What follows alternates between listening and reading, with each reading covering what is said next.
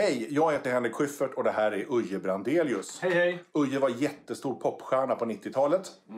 Sen så blev han assjuk. Ja, tråkigt. Och det har vi gjort en långfilm om. Japp. Ursäkta? Kan jag sitta här? Nej, det där är min väskas plats.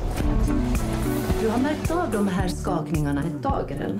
Ja, och så känner jag att jag är lite fumlig. Det går långsamt att knyta skorna och sådär. När jag lägger ihop det som jag ser så är det tydligt att du har Parkinsons sjukdom. Alltså, vad är det med dig? De så kallade feministerna tycker ju att allt jäkelskap i världen beror på män. Jag tycker att det låter som att du inte har fått fitta på länge. Vad är grejen här? Jag har en kris. Behöver du en ny kasse?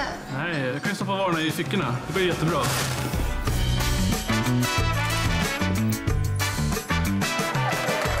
Hon är bra! Om jag säger mansroll, vad tänker ni på? Jag har sökt upp ett tiotal hemlösa personer.